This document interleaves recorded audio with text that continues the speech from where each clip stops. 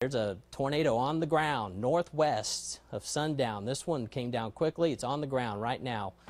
Look back to the west and seen uh, two two tornadoes hit the ground. Occidental Petroleum worker Cole Malloy was working just down the road when he saw this on FM 1585. I was more afraid of my family in sundown, so texted them, let them know, go ahead and take cover, and I'd let them know when everything was cleared. And He says after about 15 minutes, his worries slowly faded as the twister disappeared. Knowing his family was safe, Cole drove to where the tornado had touched down. old abandoned office that we've got, tornado came through and ripped the roof off. Of course, you can see the tin strung out everywhere.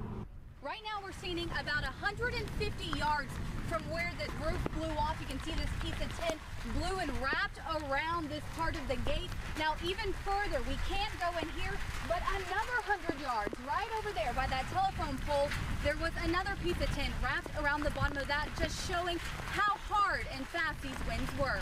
Pretty lucky because we're out here in the field all the time. We've got night riders that ride around and check facilities and everything, and so we made sure we made made the correct calls to who we needed to, and make sure everybody stays out of the path. So. Power line poles were knocked over, trees were uprooted, limbs ripped off and thrown across the street.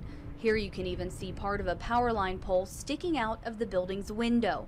And with the roof now littering fields and ditches, Cole says they're fortunate the tornado struck down in an area that had nothing but this abandoned office. Everybody's lucky on that one, that's for sure.